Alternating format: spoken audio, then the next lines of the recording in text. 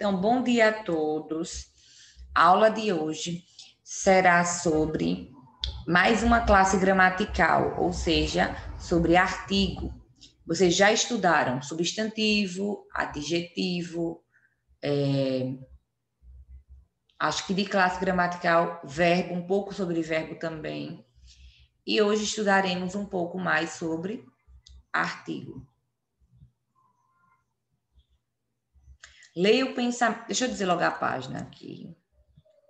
Página 237.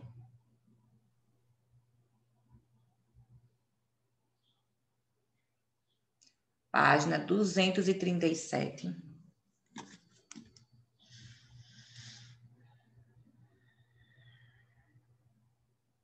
Leia o pensamento do Dalai Lama a seguir.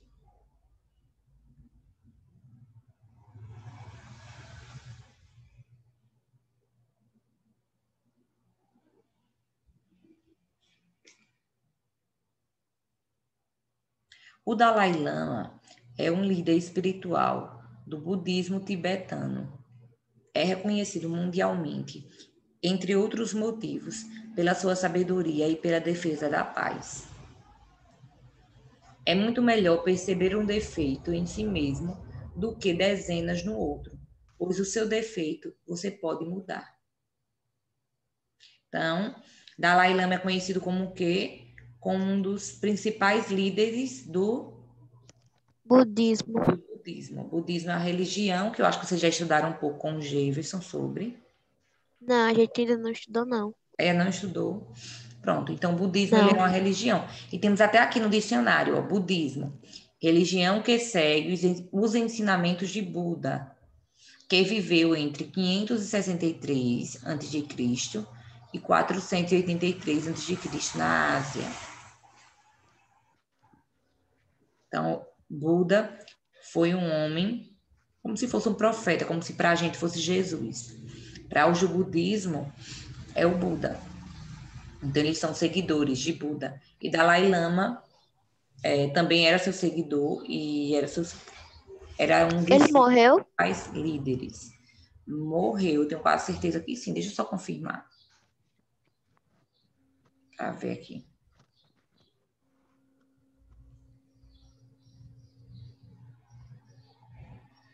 É porque tá falando o Dalai Lama é um líder, né? Ele deve ter morrido. Pode tirar as botas. Não, tem muito tempo, deixa eu ver.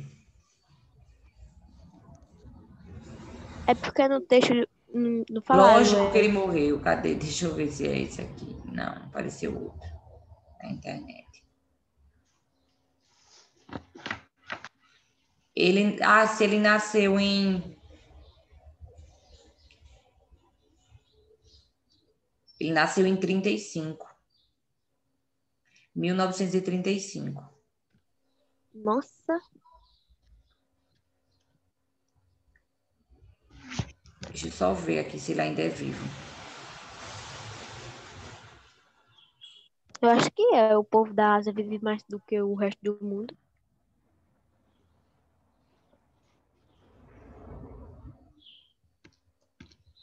Deixa eu ver. Tem a história dele.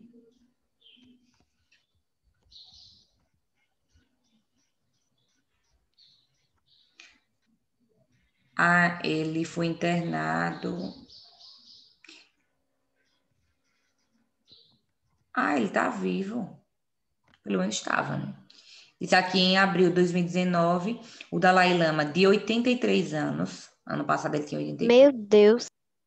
Esteve internado no hospital com infecção pulmonar. Depois de recuperado, voltou para Dharamsala, Dharamsala, no norte da Índia, onde ele mora. Então, provavelmente. Oxe, ele mora na Índia. Oxe, não parece. Não, ele parece ser do, da China. É, mas Índia também não é Ásia, né? Oriente Médio. É porque o povo da Índia ele não tem a característica do povo da China, né? Uhum. Os da Índia, eles são morenos, né? Do cabelo liso, parece índio. É. Parece com os índios que, que temos contato. Só que eles têm o nariz maior do que o daqui. Hum, É. Tem essa característica. Então, eu não achei aqui. Acho que ele está vivo ainda. Está. Ainda está É vivo. porque se ele tivesse, se ele tivesse morto, o texto não teria falado que o Dalai É, eu Lama já é um teria achado aqui. espiritual, é. Eita. Então, acredito que ele tenha. Acredito que ele esteja vivo ainda. Se sim, está com 84 anos. Então, continuando. Você consegue perceber. Deixa eu ver aqui. Professora, Professora Marcela, eu não tá conseguindo Marcela, aula, tá não. aula. Já admiti. Teve ela muita gente falando. Eu já admiti, a Marcela, ela apareceu ainda há pouco, eu admiti, eu já admiti na aula. Então, você consegue perceber a diferença entre um defeito e o defeito? Ó, é muito melhor perceber um defeito em si mesmo do que dezenas no outro, pois o seu defeito você pode mudar. Qual a diferença em dizer o defeito e um defeito? O que vocês acham? Tem alguma diferença? Dizer assim, Porque pode ser vários Defeito. defeitos, né? Que a pessoa pode encontrar em si mesma. um defeito pode ser que eu tenha vários e eu estou falando de um. Esse É. tinha um defeito, professor, tá se referindo a ele. E o defeito, eu estou falando exatamente de um. Estou focando em um defeito. É como, gente, se eu dissesse assim. Sua mãe sai de casa, aí ela diz: é, Fernanda, chegou alguém em casa? é, chegou alguém à minha procura? Aí a Fernanda diz: é, Um homem veio aqui. Um homem. A Fernanda Ela sabe não quem é esse homem? justificando. Não, Ela sabe quem é esse homem, Fernanda? não. Mas se a Fernanda disse assim, é, o homem veio aqui, o homem. Parece Então que ela ela sabe sabe. quem é essa pessoa, o homem. Observe como a diferença entre o o e o um é, causa uma diferença de sentido. O homem veio aqui. Então, é porque ela sabe quem é esse homem. Então, ela determinou. Em qual desses termos o Dalai Lama se referiu a um defeito qualquer? Quando ele falou um defeito ou defeito? Ele falou de qualquer. Ou. Ah, quando ele falou de qualquer foi um. Quando ele falou de qualquer, foi um. Quando ele falou de qualquer, foi um. Tanto que ele diz assim: é muito melhor perceber um defeito. Ele fala de qualquer defeito. Um defeito em si mesmo, qualquer defeito em si mesmo. Ora, o seu defeito é aquele lá, ó, o seu. É um defeito que você tem. Observe que nesse segundo caso ele, ele foca qual é o defeito, em qual é o defeito. O que a palavra dezenas significa nesse pensamento? Muitos defeitos. Muitas. Dezenas significa muitos defeitos, né? Mais de 10 defeitos, então são vários. Alguém poderia continuar a leitura aqui bem? Professora, Pode começar, se quiser. Bem certamente você percebeu que no termo um defeito, a palavra um, que antecede o substantivo defeito, tem a função de determinar o sentido assim. Assim, entendemos que o Dalai Lama se referiu a um defeito qualquer entre os inúmeros defeitos que temos. Já em o defeito, a palavra o determina o sentido do defeito. Grama- gramaticalmente, as palavras o e um são conhecidas como artigos. Os artigos são, portanto, palavras que viriam Variam. em variam em gênero masculino ou feminino, singular ou plural, e antecedem os substantivos determinados ou, ou indeterminados. Agora lê a tirinha. Pode fazer a leitura. Café, a prova vai ser da professora Norma. É sempre a prova. É mesmo, Preá. Toda vez só cai gramática. Por isso estou decorando a gramática toda. Mas não vai adiantar de nada, Café. Para tirar uma nota boa, você tem que ser mais sábio do que Dalai Lama.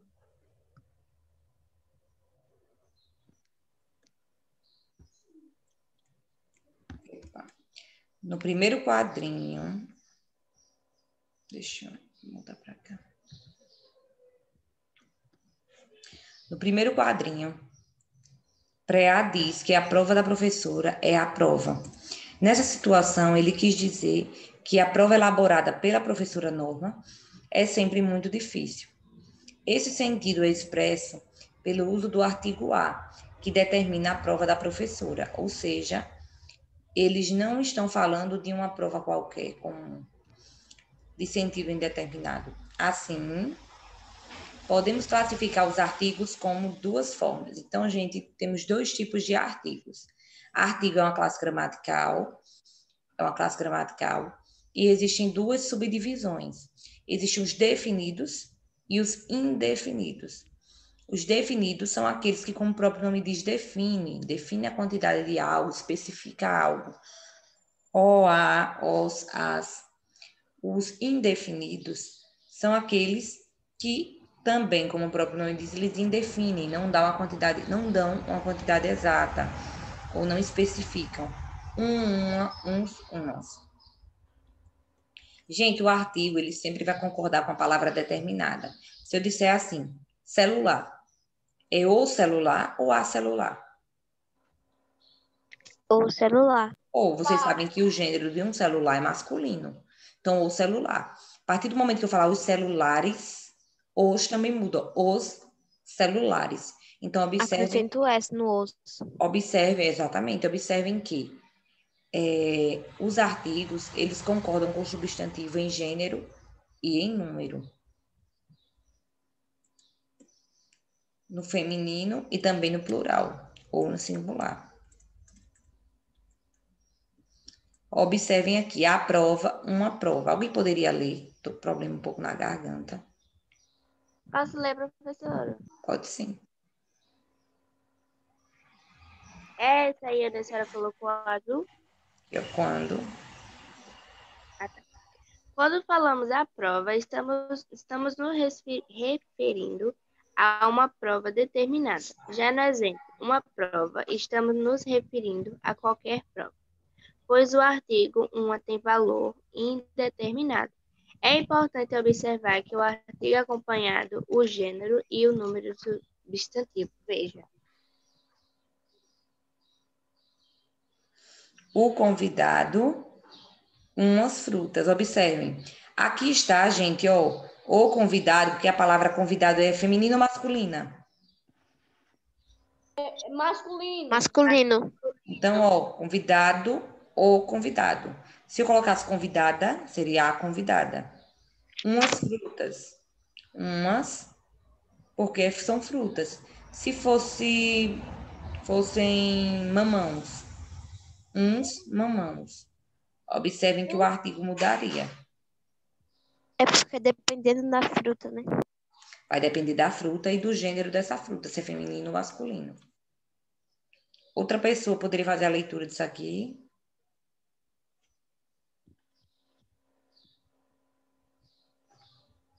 Eu posso? Pode sim.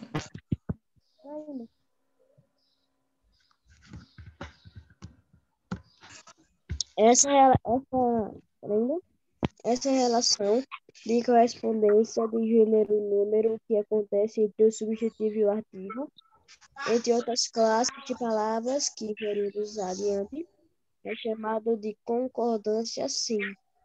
Se dizemos que o artigo é o substantivo concordam em gênero e número. Quando antecede um nome próprio, o artigo definido indica familiaridade. Esse uso é muito comum em alguns estados, como no Ceará. A Maria chegou cedo. A Gabi gosto de estudar. O João é meu amigo. Gente, observem o seguinte. Em alguns estados, assim como aqui em Alagoas, nós usamos muito o artigo a, a, o, para mostrar familiaridade. Então, quando eu digo assim, eita, a, a Maria veio aqui em casa, a Maria. Tem precisão de dizer a Maria? Tem necessidade? Não. Porque se é Maria, é lógico que é a. Se é João, é lógico que é o. Então, diante de nomes próprios, de nomes próprios não tem a necessidade de colocar o artigo. Então, precisa dizer, a Mariana chegou aqui. Não, não tem necessidade. Mas quando eu coloco esse azinho, ou esse ó, ou esse ó aqui, ó, significa que eu tenho uma familiaridade com a pessoa. Ou seja, que ela é próxima a mim.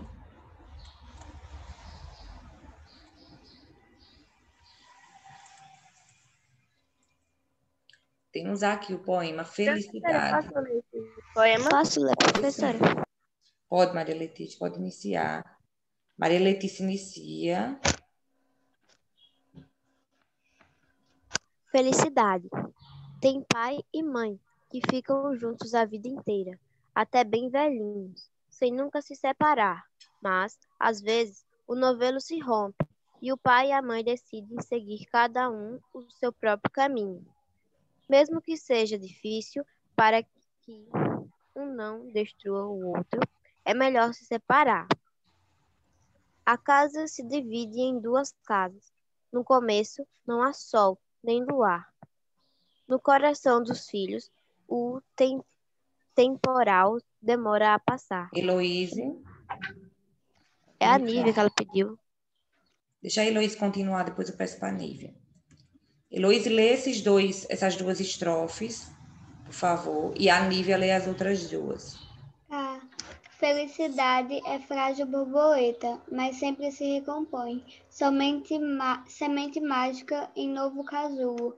Uma outra vida começa, e como tudo na vida, com coisas boas e más. Nívia? A namorada do pai ou o namorado da mãe os filhos dos outros casamentos, que a gente olha enviesadamente como um navio de bandeira, inimiga até a desconfiança passar. Seja qual for o caso da sua casa, tire do casulo mágico a borboleta. Felicidade, porque felicidade é sempre palavra azul. Mar, montanha, vento, e a gente é quem escolhe se vai ou não. Sobre o que fala esse poema? Felicidade. Felicidade e também sobre o quê? Mais especificamente sobre o quê da felicidade? Não sei. Acho sobre que o convívio de uma família. Convívio de uma família ou sobre o quê, gente? Eu acho a separação dos a pais. Uma família. Gente, o poema fala sobre a separação dos pais. Não perceberam isso? Percebi. O convívio da família, né? Ele fala sobre felicidade, mas é que é uma felicidade tipo assim, por mais que vocês tenham conflitos, que os pais tenham se separado, algo do tipo, existe ainda, ainda existe como ter felicidade de uma forma diferente, é claro, mas ainda tem como. Então, o poema Felicidade trata sobre a separação de um casal.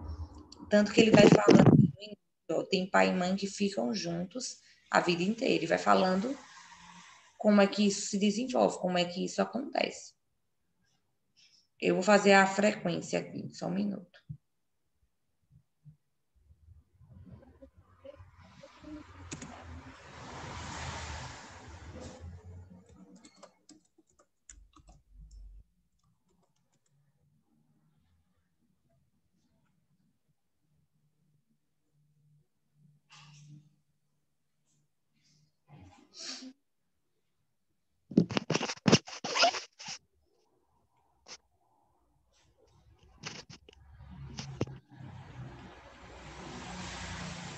Pronto.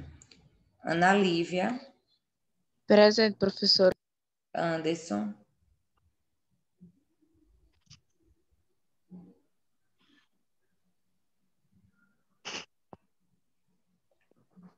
Emanuel,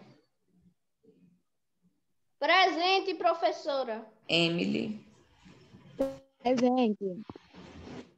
Everton,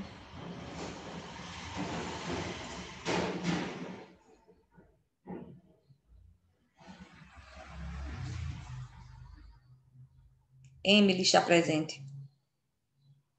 Ela falou presente. Ela Everton, falou. pronto, Everton faltou. Felipe, Gabriel, Presente. Gustavo, Presente.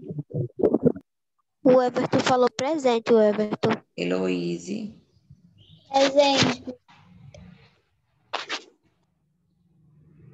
Jonathan,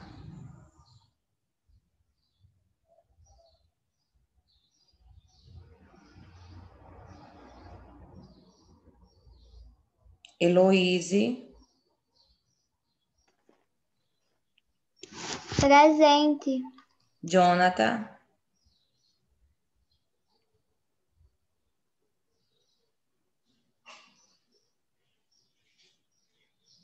Júlia, Júlia, Júlio, Cauã,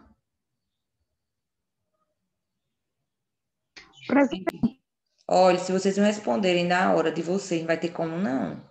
Porque quando eu chamo o, o número 9, o, o, quando eu estou no vigésimo, o nono está respondendo, fica difícil. Tentem prestar atenção. Cauã, Kevin, Presente. Presente. duas pessoas falaram presente. Porque você não falou o nome dos dois, o Calão e o do Kevin. Ah, tudo bem. Pensei que não tinha faltado. É, Larissa, Presente. Letícia,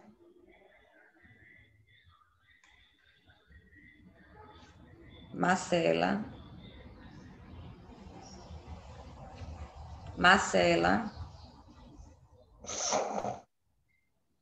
Marcela, Maria Fernanda, Presente. Maria Heloísa,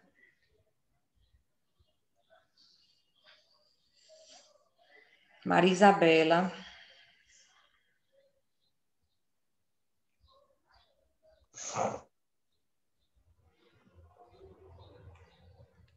Maria Letícia, Presente.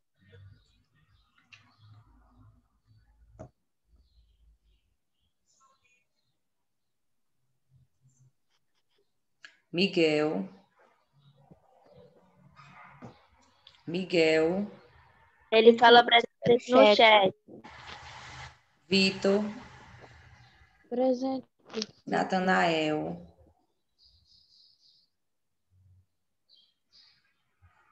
Natanael, Nivaldo, Nivaldo, Nívia, Presente. Rian, Presente. Sara, Presente. Alisson,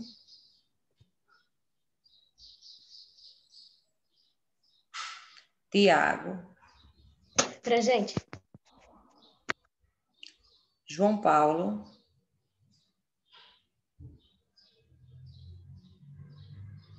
Railane,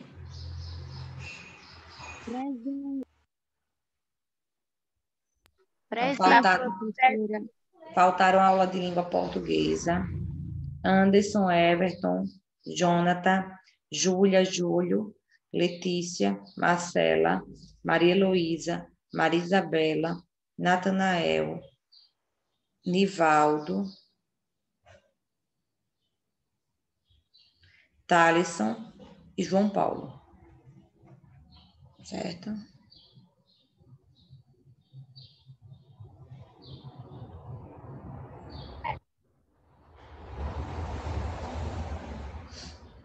Gente, eu quero que vocês comecem a responder. dizer as páginas.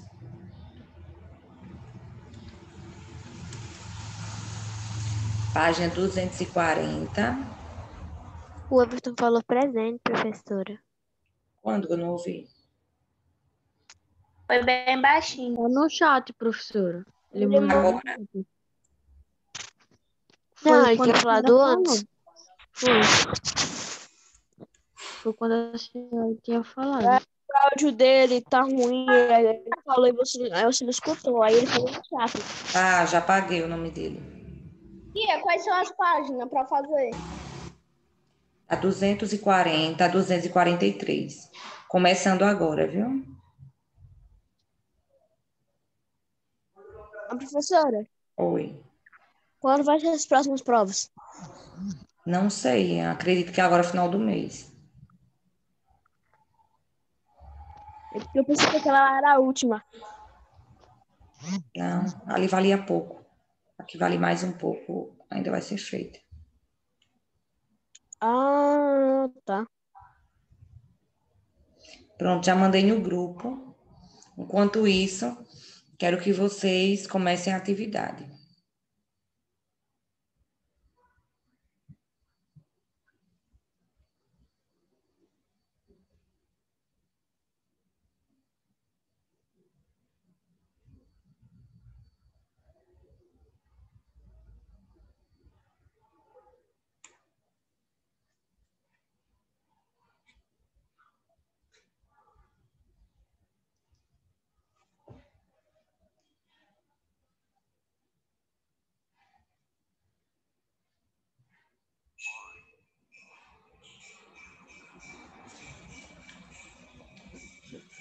Começaram a fazer atividade.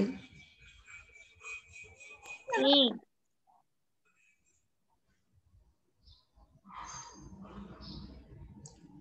A atividade não é para casa? Sim, para casa, mas eu disse que é para começar agora. A 240 eu quero que vocês comecem agora.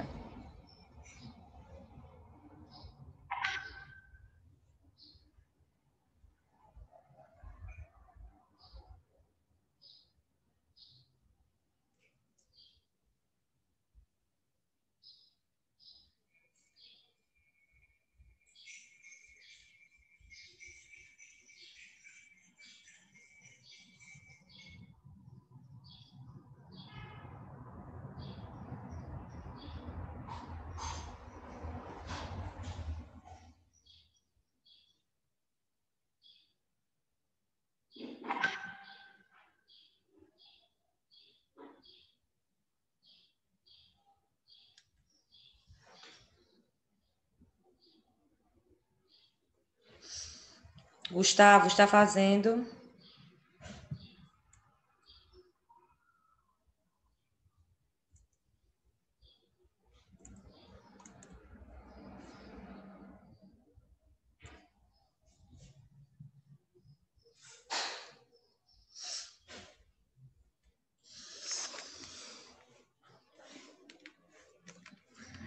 A primeira questão, gente, pergunta sobre o que fala o poema de Roseana Murray. Felicidade. Qual é o título? Acho que ele perguntou o que fala. Sobre a, sobre a Ele fala de um casamento que teve uma separação. É, gente, olha, vocês têm que parar dessa mania, de, de modo geral, para de toda vez que eu perguntar o tema, vocês disserem um título. Uma coisa é título, outra coisa é tema. Título tem a ver, mas não é. Não se trata da felicidade, se trata da, separação dos pais.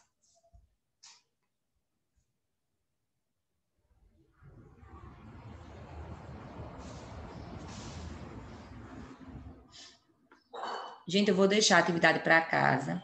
Vou finalizar a aula, eu estou garganta um pouco ruim. Eu vou finalizar a aula e vou deixar essas páginas para casa. Aguardo fotos de vocês. Amanhã fazemos a correção sobre a atividade sobre artigo. Quem tiver dúvida sobre artigo, já me pergunte. Como é um assunto muito fácil, eu não vou demorar muito tempo nele, não, certo? Deixa eu voltar aqui.